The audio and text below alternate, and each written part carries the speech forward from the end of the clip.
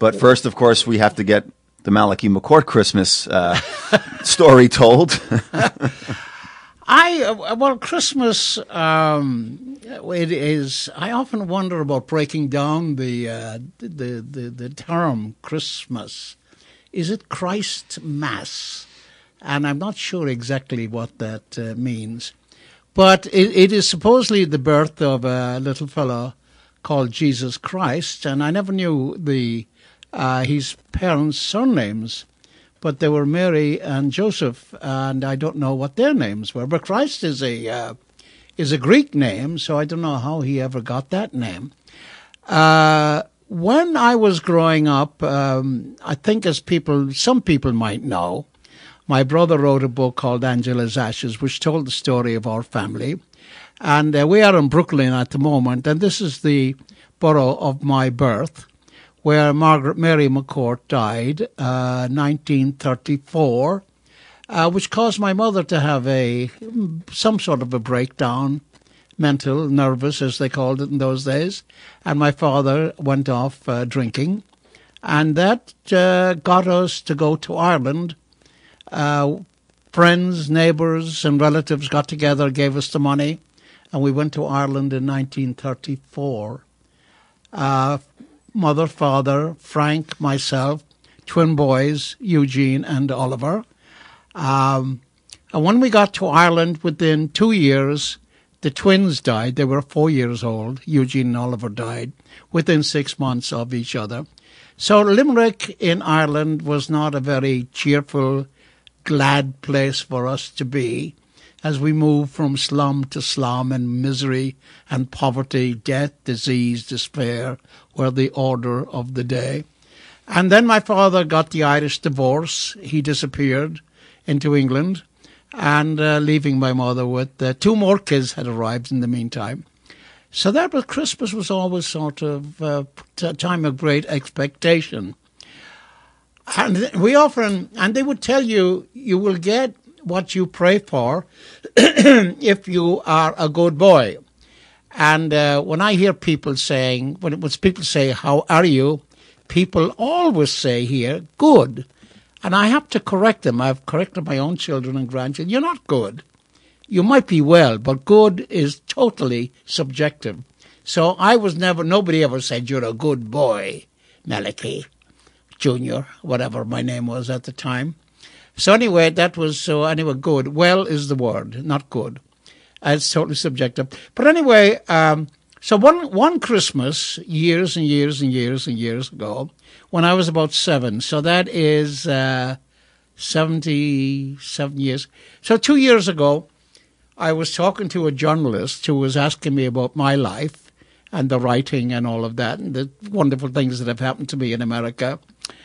And he said, What was Christmas like in Ireland? Chuck Wally was the lad's name. He was a journalist from the Adirondack Press.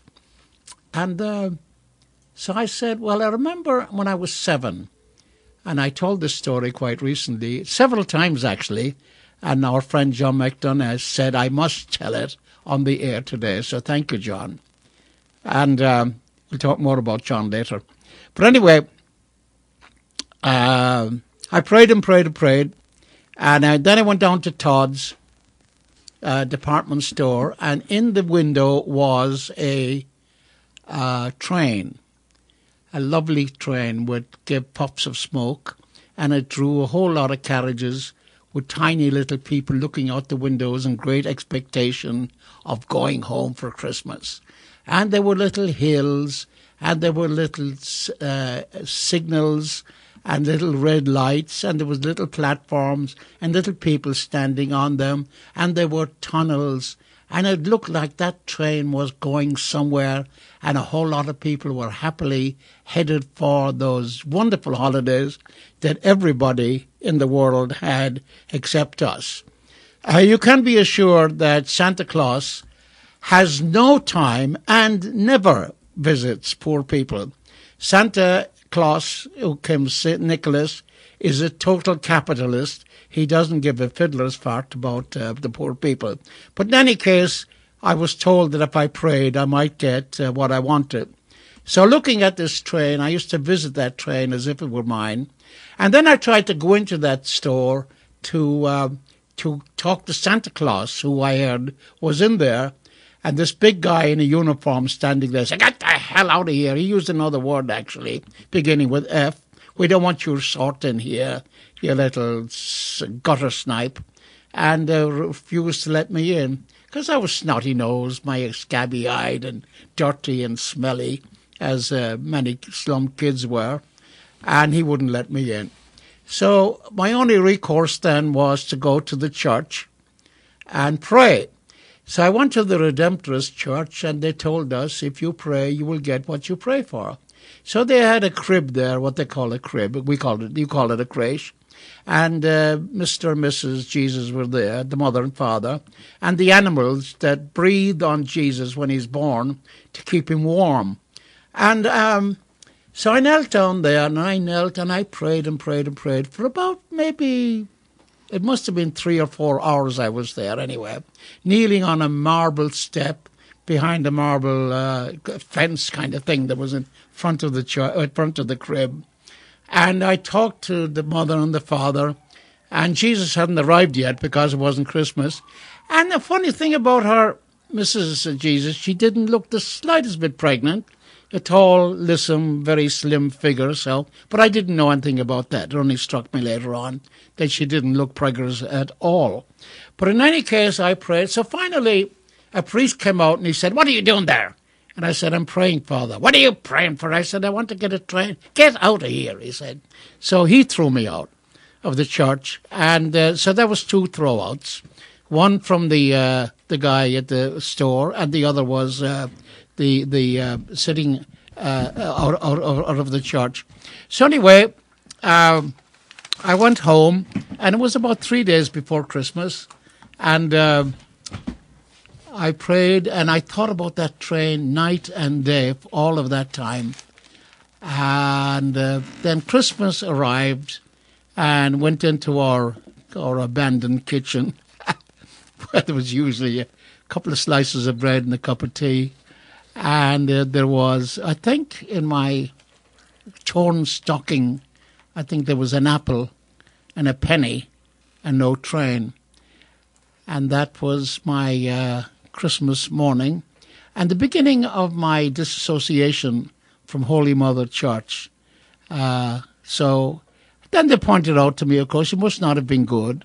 You must not have been uh, behaved yourself over the years. So uh, that was the reason why Santa did not visit me or Jesus didn't intervene and give me the toy train.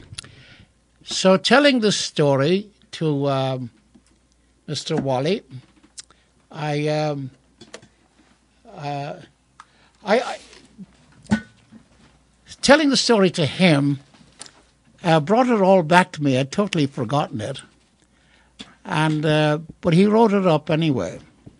A few weeks later, uh, just before Christmas, he called me and said he was in town and that he was um, going to have lunch at the Oyster Bar at Grand Central Station. Would I have lunch with him and his wife and son? I said, fine. He said, would you bring Diana with you too? And Diana is my beloved wife, who just had a birthday day before yesterday. And uh, I said, sure, I'll do that. So we went down to Grand Central Station to the Oyster Bar. They have a lovely lunch there. They did anyway. I don't know if it's still open. And he said, uh, "Oh, I have to go to the museum. There's a train museum which I didn't know about in Grand Central Station." So I say, he said, oh, "Will I wait?" And he said, "No, come with me." So we went to the museum and we went in, and there were a big crowd of people in there. And all of a sudden, people jumped jumped up shouting Happy Christmas, and lights were flashing, and there was a TV camera in my face. And then a man stood up and he said his name was Bill Davidson, I think he said his name was. And he said, I, I am the vice president of Lionel Trains. And he said, We have gotten word that uh, you prayed for a train, a toy train for Christmas, and Lionel Trains have heard your prayer and they would like to answer your prayer. So we are giving you your toy train for Christmas. And he presented me with a beautiful little electric toy, big toy train with lots of tracks and all of that. So here it is, 75 years later, and you were, is that prayer answered? 75, does it have to be answered right away? Or do I just say thank you very much to whoever? And uh, was not Santa Claus came, but Lionel Trains came. So I got my train and I have that and it's set up for my grandchildren.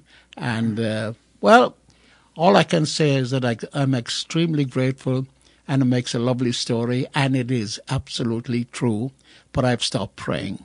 That's, that's quite that's quite a story. That's that's really incredible. So you still have the train? I have the train. It's I mean, beautiful. is it set up? Do you? It's all set up now for Christmas. Is that yeah, right? Yeah. Right. So did this make you a firm believer in participating in Christmas, or what? No, no, it did not. I mean, look, when the only it, it has to be then. If it wasn't, it didn't happen when I was seven what the hell is the use of it happening when I'm 84 or 80 or whatever the hell I was? 80, what, what, what was I? It was 82, I think. Yeah. So here was uh, uh, uh, 75 years later, 70, yeah, th- there it was.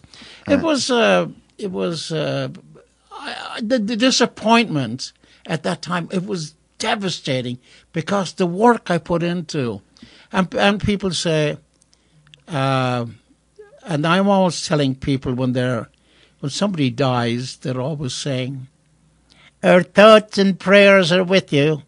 I say, just hang them in your lavatory and send money, or bake Yeah. a cake, or do something. I cannot stand that phrase. And all the Republicans, "Our thoughts and whenever something happens, that our thoughts, as if they're doing something, you know Yeah. and it's they're u- totally useless. So knock it off.